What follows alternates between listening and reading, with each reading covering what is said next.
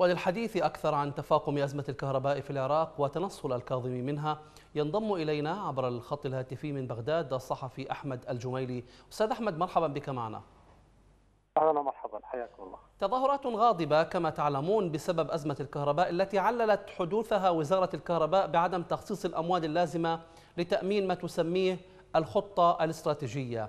السؤال الذي يطرح نفسه أين تذهب الأموال المخصصة لكل ذلك؟ ألم يصوت البرلمان على الموازنة؟ ومعلوم من أن هذه الأزمة تتكرر في كل صيف. نعم بالتأكيد يعني كانت وزارة الكهرباء تمثل آه، ذلك الصيد الثمين وتلك الغنيمة المهمه التي آه، تكالبت عليها أحزاب السلطة من أجل آه، الظفر في حقيقه هذه الوزارة تشكل منجمه ذهب ان صح التعبير الأحزاب التي تعاقبت على امساك ملف الكهرباء لغايه الآن. نعم. أنفقت آه، من أجل آه، إصلاح آه، المنظومة الوطنية للعراق للأسف ذهبت إلى جنود تلك الأحزاب. وهذا هذا الأحزاب إلى موضوع القضاء من ناحية السياسية كما أنه كما قلت تعتبره غنيمة لتمويل نشاطات أحزابها وميليشياتهم.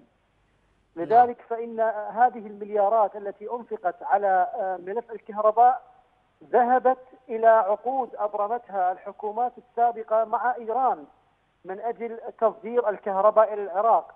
على سبيل المثال قامت حكومة نوري المالكي بإنشاء محطة غازية في البصرة لتوليد الكهرباء وبعد أن تم إنجاز هذه المحطة تفاجأ الخبراء من أن العراق لا يملك احتياطي للغاز لأن الغاز الذي يخرج من أه، حقول النفط في البصرة كان يطير في الهواء ويحترق دون الاستفادة منه لأن العراق لحد الآن نعم. لم يستثمر أه، ثروة الغاز التي يمتلكها. إذا هناك إهدار للإمكانيات والموارد الموجودة. لكن أستاذ أحمد في المقابل منذ الاحتلال الأمريكي عام 2003 للعراق والعراق يعاني من تدمير البنية التحتية ومنها محطات آه، توليد الكهرباء.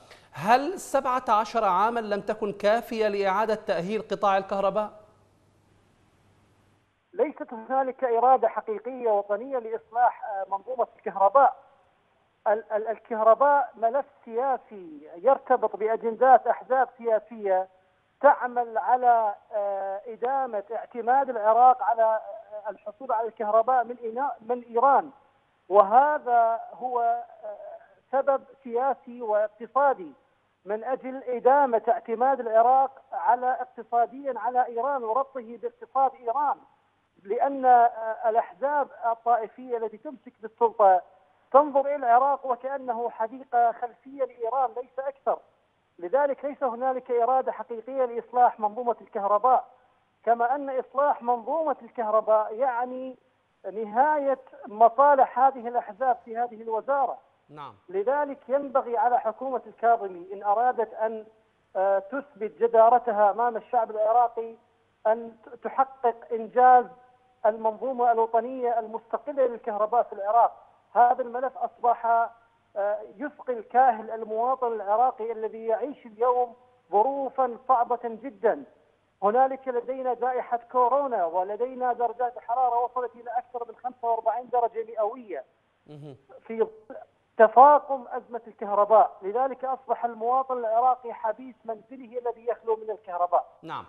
طيب آه، لذلك ظهرت آه، ظاهرة أصحاب المولدات الأهلية الخاصة والذين كما يقول بعض المراقبين والصحفيين يستغلون هذه الأزمة برفع أسعار الخدمة المقدمة آه، للناس. والسؤال لماذا لا تقوم الحكومة بشراء الكهرباء من أصحاب المولدات الخاصة إن كانت الأزمة في البنية التحتية للقطاع الكهرباء؟ بالمناسبة يعني موضوع المولدات الأهلية هذا أصبح آه، صفحة جديدة من صفحات الفساد. اليوم نقرأ تقارير آه، تسابق بعض الأطراف السياسية وبعض الأحزاب للحصول على آه، هذا الملف والحصول على مقاولة تجهيز مادة الغاز في المحطات الأهلية لأنهم ينظرون إلى هذا الملف من أنه فرصة سانحة للحصول على المزيد من المال. وحتى هذا الملف تكالبت عليه هذه الأحزاب من أجل الحصول على مادة الغاز وبيعها في السوق السوداء وبالتالي إدامة هذه الأزمة وفشل أصحاب المولدات الأهلية من تجهيز الطاقة الكهربائية اللازمة لمنازل المواطنين. نعم. طيب آه، الكاظمي من جهته ألقى بالكرة في ملعب الفساد والهدر المالي في الفترات السابقة والحكومات السابقة. هل تعتقد أن هذا يعفيه من المسؤولية آه، أو أن هذا المسوغات آه، كي لا يتحمل المسؤولية خلال الفترات القادمة؟ نعم أرى تصريحات الكاظمي الأخيرة محاولة الهروب من هذه الأزمة الكبيرة لأنه يعلم أن آه، ثورة تشرين كان من أهم أسبابها هو أزمة الطاقة الكهربائية في جنوب العراق والتظاهرات التي خرجت قبل شهر تشرين آه، في عام 2019 آه، كان سببها هو أزمة الكهرباء الخانقة. كما أسلفت درجات الحرارة عالية في في في محافظات جنوب العراق. ترافقها أزمة كهرباء خانقة فشلت كل الحكومات السابقة في توفير آه، الكهرباء للمواطنين. لذلك آه، أرى بأن الكاظمي قد استوعب هذه آه، النقطة وحاول أن يلقي الكرة في ملعب نعم. الأحزاب التي أمسكت بملف الكهرباء في السنوات السابقة. نعم.